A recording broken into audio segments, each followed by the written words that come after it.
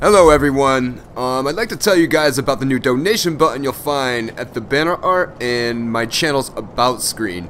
So I'm saving up for some new tech for the channel, um, some, no, some more uh, you know computer stuff, things like that.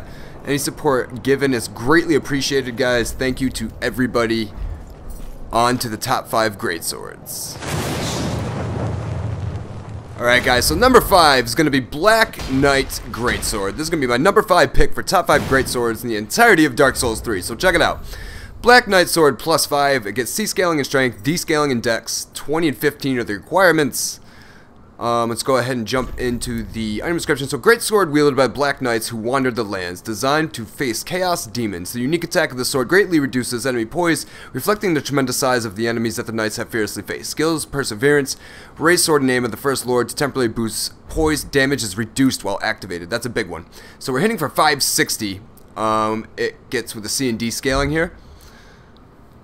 So the poise right here just makes you a absolute damage dealing beast. Um, you know, smart people will stay away from you while it's activated, but it's very easy to get off and destroy people when you're fighting them.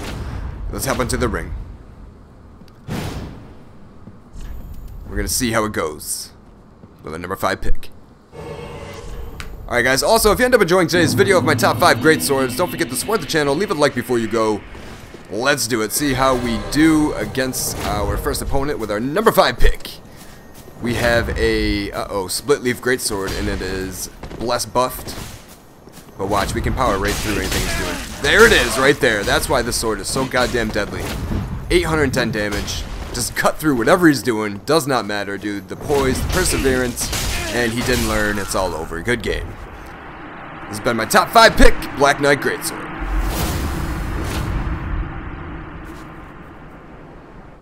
Alright, number four is going to be the Twin Prince's Greatsword. So this sword right here is a beast for many reasons. So check it out. We have the Twin Prince's Greatsword plus 5, gets D scaling in both strength and dex.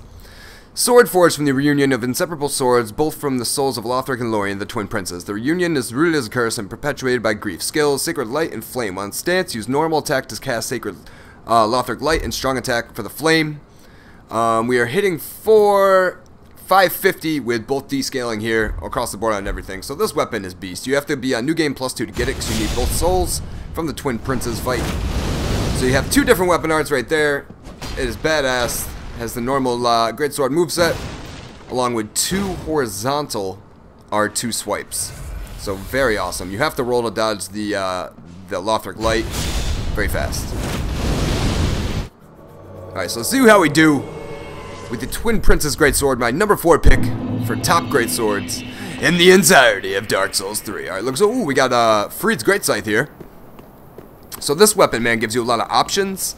Um, you know, you can keep your opponent guessing. The damage you get out from it is actually very, very decent.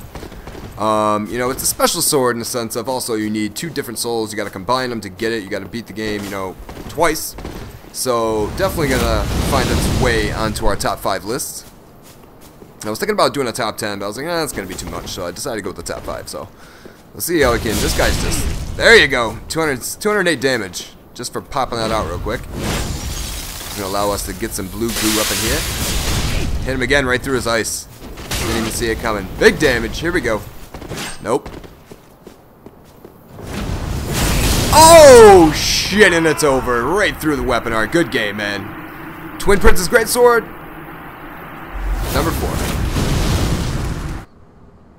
Alright, number three. The holiest of the Moonlight. The Moonlight Greatsword is going to be my number three pick for the list. So check it out. Moonlight Greatsword plus 5. Get E scaling in strength, B scaling in uh, intelligence. So basically, this is going to allow you to be a caster with a vengeance. So Legendary Dragon, uh, weapon associated with Seath of Pale Drake.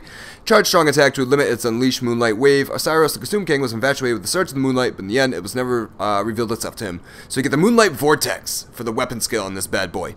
So uh, you, if you hold left trigger see what our AR is. 577. So very good AR with this dude, and we're able to cast big time with this. So that's left trigger right there. Right trigger charge shoots a beam, a wave across the stage, and you're able to cast sorceries, so it gives you many, many options. That's why it's going to land itself as number three. I love options, as you guys know. Moonlight Greatsword, badass. Alright, let's see how we do with it. Our number three pick for top, top, top, top great swords. Dark Soul 3. Now, I'm glad I could do this video now that all of the DLC is out, everything's available to us, so now we can really, you know, this is my opinion, my fucking humble ass opinion, by the way, before anybody fucking rips my uh, choices apart down below in the comments. But uh, you guys have asked me a couple times, you know, what are my thoughts on this, and here we go. We have a lightning user here. Oh shit, that was nowhere near me. Oh shit, he has the Saint Bident. You never see anybody really using that weapon. Maybe the first opponents that's used the St. Bident that I have fought. Not sure. There it is. Big damage from the fucking Moonlight dude. And we're able to fucking cast right along with it. Oh, just missed him with that Soul Greatsword. So again, options for me, man. Makes it a good fun time. Alright, let's see if we can get him with a crystal. Wrong time to drink, my friend. And it's all over. Good game. This has been my top three third pick, Moonlight Greatsword. Alright, so number two, top five great swords, guys, gonna land itself the Onyx Blade. This thing is a beast. So, we have D scaling for strength, D scaling for dex, C for both faith and intelligence. So, Elfriede, this um, uh, eldest, eldest among her sister and leader of the Sable Church, bestowed this sword to her knight. Only the sword is a farewell gift. Acceptance signified the knight's resignation from Elfriede's service. You get Elfriede's Black Flame for the skill. This sword is amazing. So we're hitting for 674. Great AR. This thing, so it's self-buffing, dude. If someone's standing in front of you when you go to do the buff, they're going to receive damage on top of that. Um, the length on this thing is what's going to land it on number two. The length, the power, dude, the ability to cast Pyromancies with it. It's fucking amazing. I love the Onyx Blade. This is going to be number two.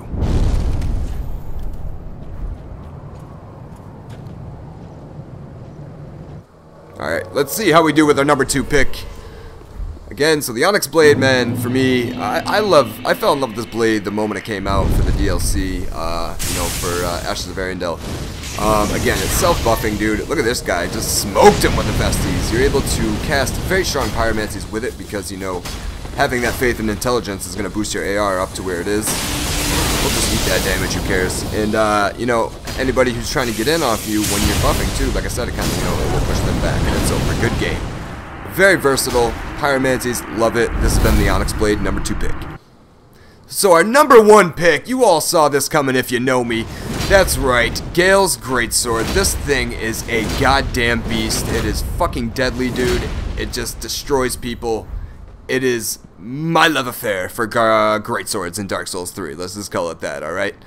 So, check it out. Gael's Greatsword plus 5 um, we have Greatsword of the Slave Knight Gael, the only weapon that he kept with him from beginning to end. Originally an executioner's sword made for decapitation, this blade is heavily chipped and stained with the blood of countless battles.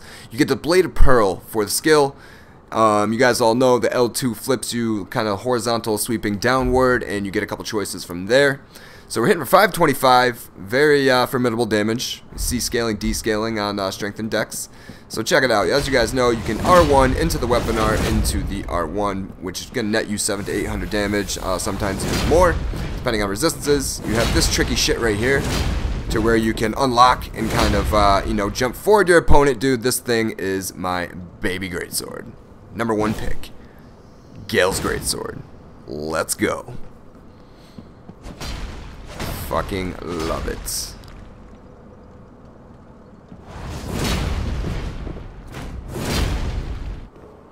Alright, so this is our number one pick once again. So what do you guys think? I'm curious for your top five great swords in the game.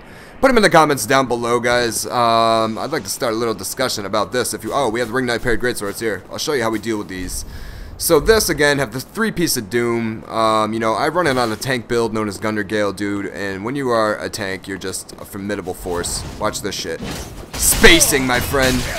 They can't fucking touch me with that L1 dash anymore, man. I know exactly where to be to punish that with a greatsword. So, uh, hopefully you guys have enjoyed. We're to make this the last fight of the video. This has been top 5 greatswords for the entirety of Dark Souls 3, man. Uh, you know, you guys asked for it, and here it is. Um, I think the list, I like it quite a bit, actually. I think it uh, you know, good picks. And for my number one, Gael's Greatsword, dude, is just a force to be reckoned with, man.